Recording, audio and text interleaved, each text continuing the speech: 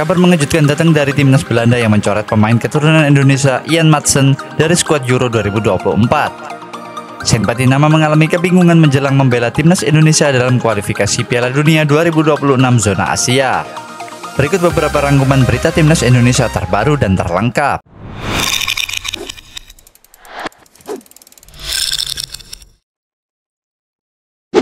Timnas Belanda coret Ian Madsen dari skuad Euro 2024. Pelatih timnas Belanda Ronald Koeman resmi mencoret Ian Manson, salah satu pemain keturunan Indonesia dari skuad akhir Euro 2024. Keputusan ini diambil setelah sebelumnya timnas Belanda memanggil 30 pemain untuk skuad bayangan Piala Eropa 2024 yang akan diselenggarakan di Jerman mulai 14 Juni hingga 14 Juli mendatang. Namun, Koman harus mencoret 4 pemain karena UEFA hanya mengizinkan 26 pemain untuk masuk dalam skuad final. Madsen yang hingga kini belum mendapatkan kesempatan bermain di level senior untuk timnas Belanda harus menyatakan kenyataan pahit tersebut. Pemain yang saat ini berkarir di Inggris bersama Chelsea FC diharapkan bisa segera menemukan momentum untuk kembali menunjukkan kemampuan di level klub maupun internasional. Madsen diketahui memiliki darah Indonesia dari ibunya, tepatnya di Pulau Jawa. Namun, paspor kedua sang pemain adalah Suriname. Pencoretan Madsen ini direspon positif oleh netizen Indonesia. Mereka menyerukan bek kiri berusia 22 tahun itu untuk bergabung bersama timnas Indonesia. Sen Patinama bingung jelang bela timnas Indonesia. Sen Patinama mengaku bingung menjelang pertandingan kualifikasi Piala Dunia 2026 zona Asia pada Juni 2024 mendatang. Pelatih timnas Indonesia Sintayong telah memanggil 22 pemain yang memperkuat skuad Garuda dalam pertandingan melawan Irak dan Filipina. Salah satu pemain yang kini dipanggil adalah Shane Patinama, bek kiri berusia 25 tahun yang kini membela klub Belgia KAS Eupen. Patinama baru saja bergabung dengan KAS Eupen pada bursa transfer Januari lalu setelah kontraknya dengan klub Norwegia Viking FK habis pada akhir 2023. Sejak bergabung, Patinama hanya bermain enam kali pada paruh musim ini, membuatnya belum yakin dengan masa depannya di klub. Gerak cepat, Calvin Verdong dan Jens Rever diusahakan bela timnas Indonesia melawan Filipina. Menteri Pemuda dan Olahraga Dito Aryo Tejo menyebut Calvin Verdong dan Jens Reven bisa memperkuat timnas Indonesia setidaknya melawan Filipina. Ia berharap prosesnya bisa berjalan lancar. Dito menjelaskan bahwa naturalisasi Kelvin Verdong dan Jens Reven akan dibahas oleh Komisi 3 DPR RI pada awal pekan depan. Masih ada waktu untuk keduanya bisa tampil bersama timnas Indonesia. Seperti diketahui, timnas Indonesia akan melawan Irak pada 6 Juni 2024 dan Filipina pada 11 Juni 2024. Dalam laga putaran kedua kualifikasi Piala Dunia 2026 zona Asia di Stadion Utama Gelorang Bung Karno Senayan, Jakarta. Setelah Komisi 3 dan Komisi 10 DPR, naturalisasi Kelvin Verdong dan Jens Reven akan dibawa dalam rapat paripurna DPR, kemudian berlanjut menunggu keputusan Presiden dan pelantikan di Kementerian Hukum dan HAM. Jika sudah resmi menjadi warga negara Indonesia lewat sumpah, Kelvin Verdong dan Jens Reven harus menjalani perpindahan asosiasi dari Federasi Sepak Bola Belanda ke PSSI di FIFA.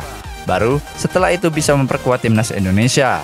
Adapun proses dengan waktu pertandingan terlalu mepet, atas nama saudara Kelvin Ronald Verdong dan saudara James Raven.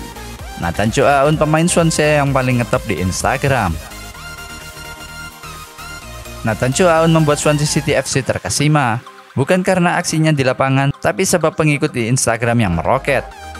Nathan mendapatkan paspor Indonesia pada 13 Maret 2024. Dia langsung menjadi andalan timnas Indonesia dan timnas Indonesia U23.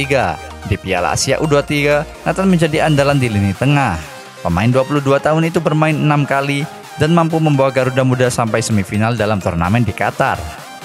Sementara, di timnas senior, Nathan sudah menjatuhkan dua caps. Dia bermain saat Indonesia bermain di kandang dan tandang melawan Vietnam di kualifikasi Piala Dunia 2026. Pada awal April 2024, pengikut Nathan ada di angka 466 ribu. Setelah aksinya di Piala Asia, Nathan kini mempunyai pengikut 2,1 juta per Kamis 30 Mei 2024. Bahkan, Nathan juga mempunyai panggilan Mas Tejo dari para penggemar Indonesia. Jumlah follower Nathan di Instagram bahkan nyaris lima kali lipat dari Swansea City.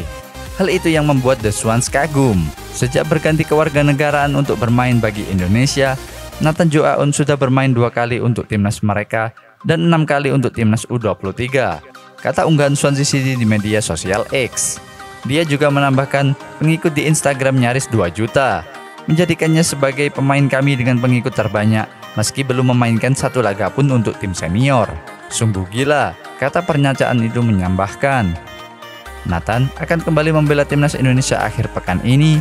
Dia berpeluang tampil saat Indonesia melawan Tanzania. Laga itu akan berlangsung di Stadion Madia Jakarta pada Minggu 2 Juni 2024.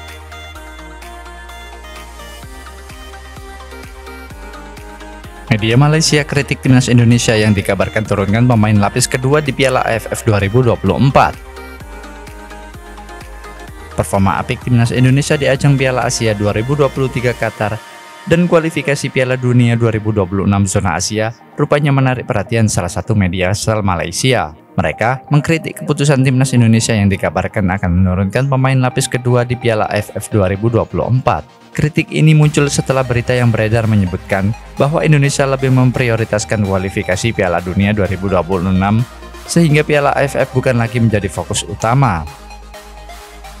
Menurut unggahan dari akun X1 Football M, Keputusan ini dianggap meremehkan turnamen regional tersebut yang biasanya menjadi ajang bergengsi bagi negara-negara Asia Tenggara untuk menunjukkan kekuatan sepak bola mereka.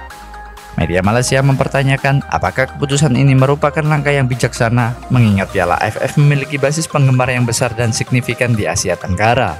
Selain itu, mereka menganggap Indonesia tak selayaknya meremehkan ajang Piala AFF yang kini berubah nama menjadi ASEAN Cup tersebut lantaran skuad Garuda belum mampu menjadi juara. Vietnam lolos ke kualifikasi Piala Dunia babak ketiga dan menjadi runner-up di AFC U23. Thailand lolos ke kualifikasi Piala Dunia dan semifinal Asian Games. Namun, mereka tetap tenang dan mengirimkan sukat utama ke Piala AFF. Bukannya baru bangkit sedikit sudah sombong, bilangnya Piala Ciki kurang bergengsi, trofinya saja belum ada, tulis mereka. Wacana untuk menurunkan pemain lapis kedua ini muncul karena timnas Indonesia memiliki jadwal padat di fase ketiga kualifikasi Piala Dunia 2026 yang dianggap lebih penting untuk perkembangan sepak bola nasional. Jika Indonesia berhasil lolos ke fase ketiga, mereka harus fokus penuh untuk memastikan tempat di Piala Dunia, sehingga menurunkan tim utama di Piala AFF menjadi kurang diprioritaskan. Pertandingan dalam fase ketiga kualifikasi Piala Dunia 2026 dijadwalkan berlangsung pada 14 dan 19 November, hanya empat hari sebelum pembukaan Piala AFF 2024. Kondisi ini memunculkan wacana pembentukan dua timnas Indonesia untuk mengatasi bentrokan jadwal tersebut.